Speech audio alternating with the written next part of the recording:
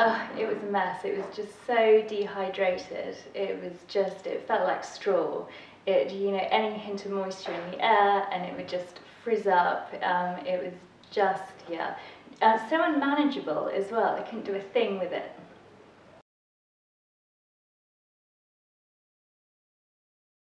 Since using TJK products, it's transformed my hair. Now it feels silky, it's manageable, frizz has completely gone. Since using the oil once a week, it's just totally transformed it. It just feels amazing.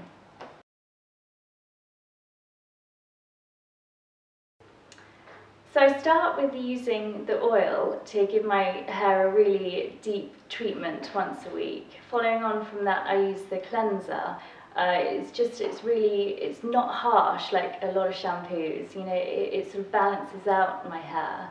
And because of that, I don't need to wash it quite so often, so maybe two, um, three times a week.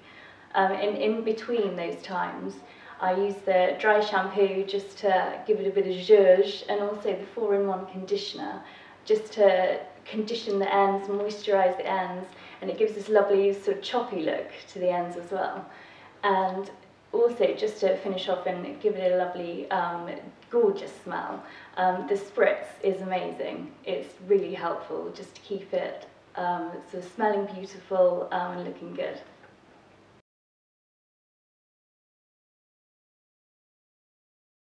Uh, I love all of the TJK products. Uh, if I had to pick, I can't narrow it down to one. If I could pick two, um, the first would be the oil. It's just transformed my hair. It used to be so frizzy before. It's just amazing. Just once a week I have to use it um, and it's just brilliant. It sort of calms everything down, it's soft, um, it's amazing. And the other one, because I ride horses um, and my hat, it, it's just, you know, it gets smelly and, you know, horrid under there. Um, the dry shampoo has just been a godsend, it really has.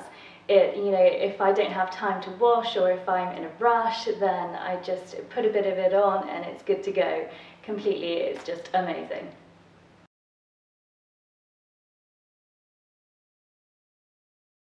Tabitha has given me so many tips about my hair, uh, but I, if I had to pick one, it would be the dry shampoo. I'd never thought of using dry shampoo before, because everything out there is aerosol based, and you know, I just didn't want to use an aerosol. Uh, it's just been so useful and effective in between washes just to zhuzh my hair up and just to get it feeling great again. It's been really helpful.